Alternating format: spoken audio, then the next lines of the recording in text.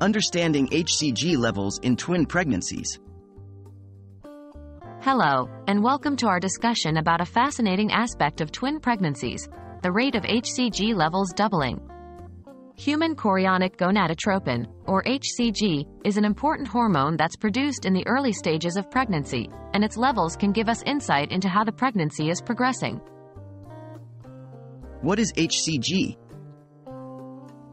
Human chorionic gonadotropin, HCG, is a hormone produced in the placenta after implantation.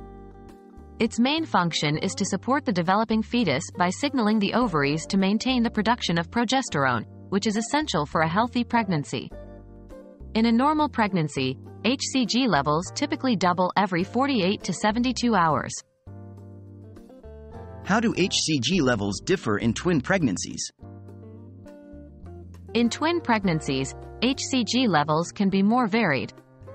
Generally, higher HCG levels are observed due to the presence of two embryos, meaning there are two sources of HCG. However, it's important to note that there's a large overlap between the HCG levels in singleton and twin pregnancies, so HCG levels alone aren't a reliable method for predicting twins.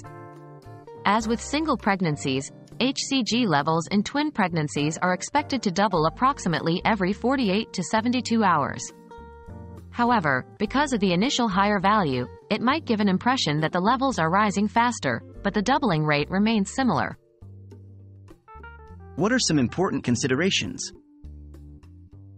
While HCG levels can provide valuable information, they are only part of the bigger picture.